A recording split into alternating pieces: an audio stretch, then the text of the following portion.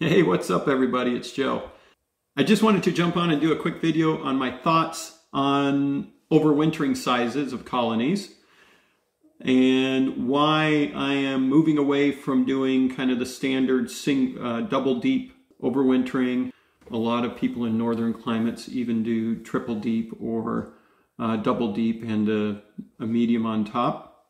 That has kind of been a standard for quite a few years. People try and overwinter in as large of a colony as possible with as many bees as possible. But I started looking at some studies and it looks like the overwintering success rates are actually higher when the bees winter in smaller clusters and in a smaller cavity size. And when I first was looking into this, I was pretty skeptical about it because I had convinced myself you need as large of a population as possible and as large of a space as possible with as much honey as possible. In the past, I'd overwinter with um, 100, 120 pounds of honey, and I typically did two deeps and a medium. I think sometimes two deeps and two mediums. But now that I'm kind of moving into being a sideliner, and I'm I'm doing this as kind of a, a side business, I really want to look at what is the best way of wintering. And what first got me onto it was Ian Steppler, the Canadian beekeeper. He was overwintering everything in single deeps. Now he was over he does overwinter in a shed, but in his video he said that before he did the shed he was still overwintering like that and there's people in his area that overwinter with single deeps and they don't do it indoors.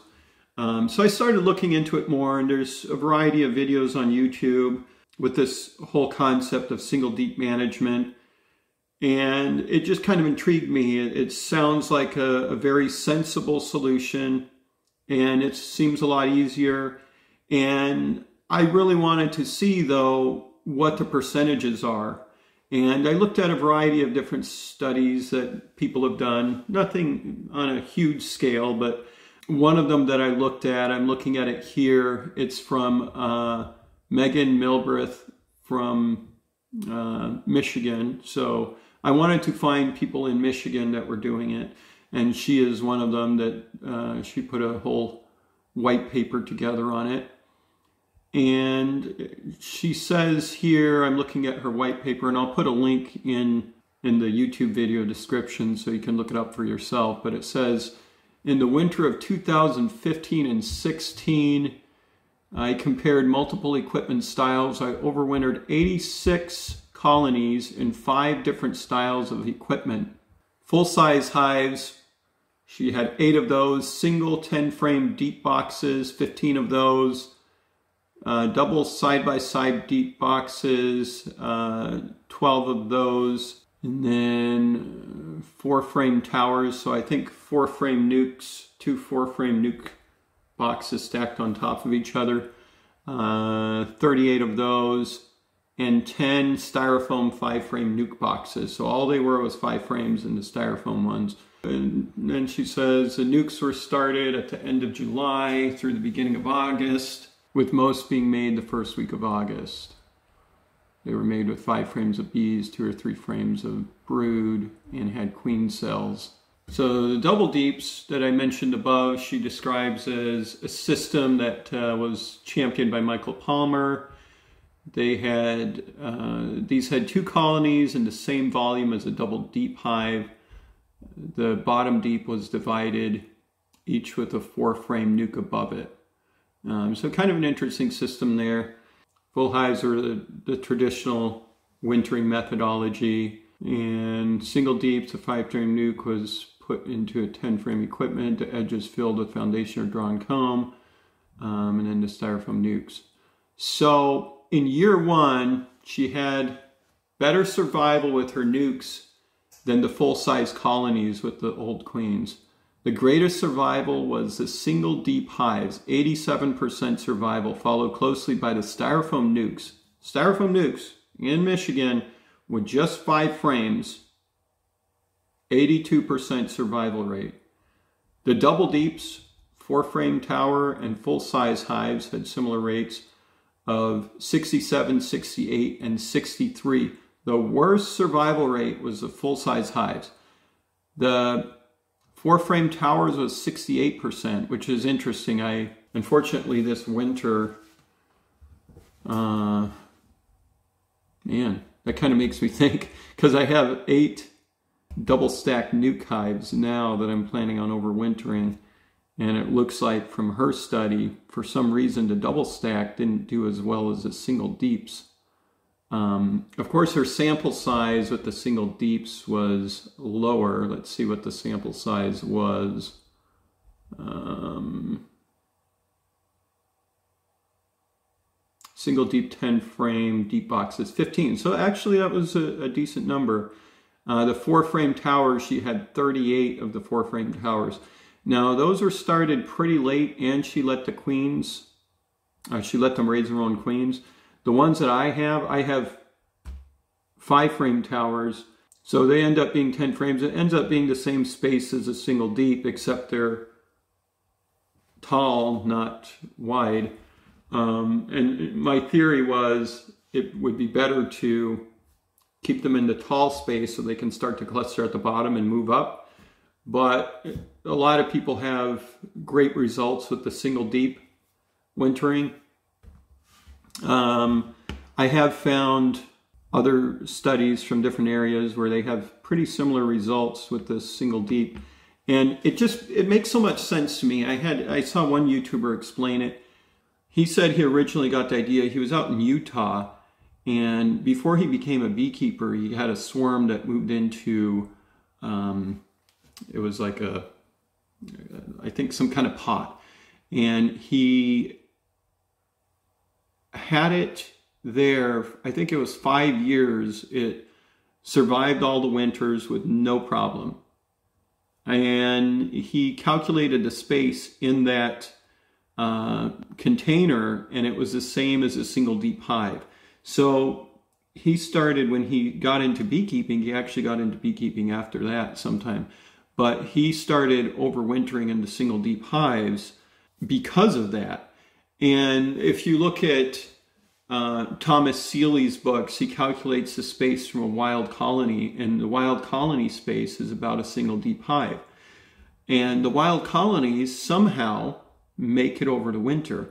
And what and so it just it just makes a lot of sense that what we're doing forcing bees to be in two deeps or three deeps it's two or three times what they typically use in the wild to survive so it makes sense to try and replicate their natural uh, behavior if you think about it the bees have less space to heat they also are forced to store all of their food in a much more condensed area. So they still have, you can still give them 90 pounds of food for the winter in a single deep. You just have to let them raise their brood, and then as the brood is hatching, let them backfill all of that brood area with honey. And then that whole super becomes really jam-packed full of honey. You still want a little bit of space left for the winter uh, brood nest area, but you don't really want the queen raising a lot of brood too early because then they use up a lot of their stores.